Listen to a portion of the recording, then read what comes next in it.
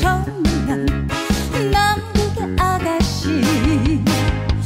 아태우 한잔 두 잔. 정리로 가는 하이난의 밤 분위기에 취해서 그 사랑에 취해서 잊을 수 없는 청